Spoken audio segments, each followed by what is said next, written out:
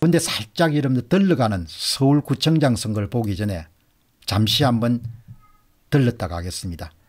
광역단체장 선거는 어떻게 조작했냐 광역단체장 선거는 예. 다행히 대전광역시장 선거 문제는 곧바로 경기도지사 문제고 서울시장 문제고 모든 데 다 적용되기 때문에 대전광역시 시장 선거도 이른바 광역단체장 선거도 요리를 지방선거에서 철두철미하게 전산 조작에 의해서 바로 만들어진 사전투표 후보별 득표수를 갖고 결정을 한 바가 있다. 이렇게 여러분 보시면 좋겠습니다. 대전광역시 여러분 조금 전에 이제 유성구청장 선거에서 진동규 후보가 국민의 후보가 억울하게 사전투표 조작 때문에 이제 탈락하고 말았는데 이 유성구에서 대전광역시 시장 선거에선 유성 구민들은 어떤 여러분들 투표 성향을 보였는지 보시기 바랍니다. 이런 그래프가 나옵니다. 100% 부정선거를 한 겁니다. 100%. 그러니까 대전광역시장 선거에 유성구청 유성구민들이 유성구 구민들이 보인 선거입니다. 좌우대칭의 정확하게 기계적 아름다움입니다. 전산 조작을 했다는 이야기입니다. 전산 조작을 무자비하게 했다는 겁니다. 예. 예를 들면 이것을 다스게 보시게 되면 왼쪽에는 대전광역시 시장 선거에 유성 구민들이 보인 것이고 오른쪽은 유성구청장 선거입니다. 똑같습니다. 좌우대칭에 어쩌면 이렇게 똑같을까 이런 생각이 나오는 거죠. 유성 구민들이 보인 대전광역시 선거에 여러분들 소위 조작되지 않는 상태는 여러분들이 오른쪽에 보시는 전라남도 해남군 완도군 진도군의 2020년 4.15 총선 결과를 보시게 되면 자연미를 보시게 됩니다. 자연수를 보시게 됩니다. 자연수가 어떻게 분포되는가 일반 시민들이 던진 개입이 없는 그런 소위 선거 데이터는 어떻게 특징을 갖고 있는가 이 부분이 바로 오른쪽이다 이렇게 보시면 좋겠습니다. 대전광역시에는 구청장 선거와 마찬가지로 대전광역시장 선거에서도 일, 일률적으로 10% 정도 조작을 한 걸로 보입니다. 대전광역시 시장 선거의 유성구 사례입니다. 예, 유성구 사례도 10%를 조작을 했습니다. 10% 그러니까 쉽게 한 번 더 정리하게 되면 대전광역시장 선거에서도 10%를 조작하고 그다음에 대전의 모든 그런 구청장 선거에도 10%를 조작을 해가지고 예, 표를 훔치게 됩니다. 그러니까 유성구에서는 대전광역시장 선거에서 2562표를 이렇게 훔쳐가게 됩니다. 실질적인 차이는 2562의 두 표죠. 예, 그 결과가 여러분 이렇게 나옵니다.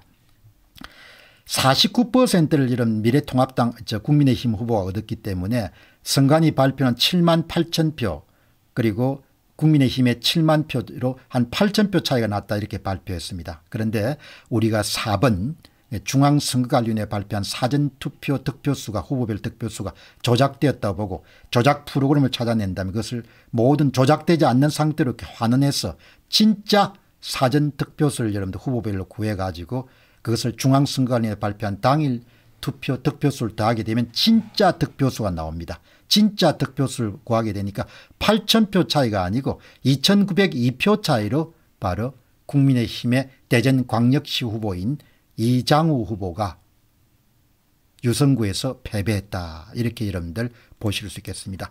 동일한 방식을 다 사용했습니다. 여기서도 여러분 보시게 되면은 여러분 조작을 하게 되면 여러분들 한 가지 제가 잊어버렸네요. 조작을 하게 되면은 중앙선거관리위원회 자료에는 표가 참 많이 남습니다. 예, 표가. 여러분 보시죠. 당일 투표 이게 여기가 여러분들 중앙선거관리위원회 발표한 그런 공식 데이터고 이것은 우리가 구한 진짜 여러분들 득표수입니다. 이 차이가 일치하지 않습니다. 중앙선거관리위원회가 66표가 더 많습니다. 그리고 국민의힘은 58표가 더 많습니다. 합치게 되면 124표고 무효표 3표를 합치게 되면 127표의 표가 남습니다. 전산 작업을 여러분들 종결하기 위해서 이 플러스 127표를 남겨놓은 상태로는 전산 작업을 완결할 수 없습니다.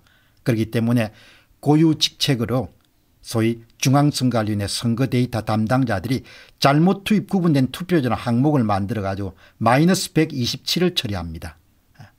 이게 전산 조작에 아주 유력한 여러분들 증거입니다. 여러분 보시게, 보시기 바랍니다. 중앙선거관리의 자료가 발표한 사전투표와 당일투표를 후보별로 비교해 보게 되면 0.70이 나옵니다. 무슨 뜻인가 하니까 민주당의 후보는 허태정 후보는 유성구에서 당일 투표지 100장당 사전 투표지가 70장을 득표한 것으로 그렇게 발표를 한 겁니다. 근데 진짜를 구해보니까 64장밖에 안 되는 겁니다. 표를 넣어줬다는 이야기입니다. 국민의힘의 이장우 대주, 대전광역시 후보는 중앙선거관리 발표된 자료를 하면 당일 투표지 100장이 여러분들 사전투표지 58장밖에 없는 겁니다. 근데 진짜를 구해보니까 뭐죠? 63장 있는 겁니다. 표를 빼앗겼다는 겁니다. 이렇게 여러분들 100, 마이너스 127 이런 수치가 계속 등장합니다. 등장합니다. 예. 앞에서 이야기는 제가 언급을 안 했는데 여러분들 대전 대전광역시의 여러분들 그걸 한번 보시죠. 이 선, 저, 구청장 선거를 한번 보시기 바랍니다. 이 구청장 선거가 여기가 지금 어디죠? 구청장 선거가, 예, 대전광역시 중구청장입니다. 중구청장 같은 경우도 이런데 이 수치를 보시게 되면 위에 얼마가 남습니까? 마이너스 47이 남습니다. 표가 남는 겁니다. 개수 조정을 꼭 해야 된다는 거죠. 전산 조작을 하게 되면은 개수 조정이 필요적, 필수적으로 일어나게 됩니다. 대구 중, 중구청장 선거에서도 47표의 표가 남은 겁니다. 그러니까 이것을 이제 교정해야 되는 것이죠.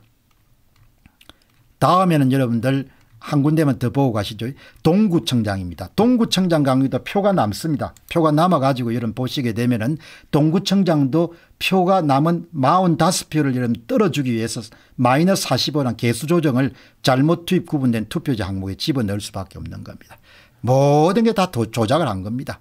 대전광역시장 선거, 대전구청장 선거 다섯 군데 모두 다 뭐죠? 예. 낙선시켜야 될 후보자가 받은 사전투표 득표수의 10%를 여러분들 동별로 조작을 해가지고 예, 그렇게 해서 작업을 한 겁니다. 모든 걸 다 훔친 겁니다. 모든 걸 다 도둑질 해가지고 예, 선거를 치른 겁니다. 모든 것을. 어마어마한 일이죠. 결론은 이렇게 이런 보겠습니다. 대전광역시 시장 선거는 물론이고 대한민국의 17개 도 및 광역시 시장 선거 모두 전산 조작에 의해서 만들어진 사전 득표수를 갖고 당락을 판단했다.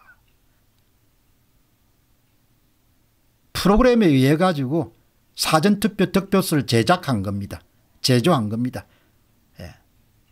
이런 어마어마한 그런 사전투표 조작을 행한 일이 바로 2022년도 6월 1일 지방선거 에서 일어났고 그것은 꼭 같은 방식이 바로 5년 전인 2017년 대통령 선거로부터 시작이 됐다.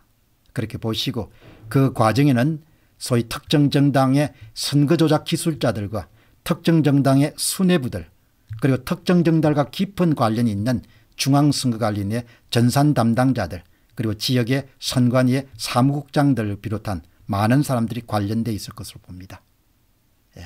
예. 이렇게 여러분들 작업이 진행이 된 겁니다.